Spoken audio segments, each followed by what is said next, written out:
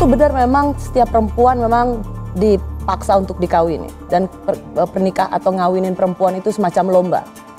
Dulu itu pengalaman saya ketika saya masih di asrama wanita, yang mana asrama saya itu ada single, ada janda dan juga ada yang berkeluarga. Di sana mereka khususnya fighter-fighter ISIS datang ke asrama kami.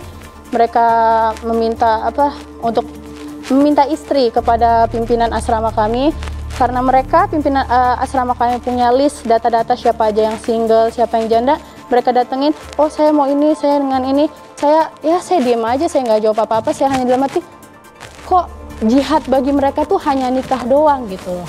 Jadi memang itu bukan isapan jempol, bukan bahwa pria-pria di sana, di anggota ISIS, kombatan di sana, prajurit-prajurit ISIS, ya. memang memperlakukan perempuan sebagai objek saja. Ya, yes, jadi uh, saya pribadi bilang sebagai pabrik anak saja.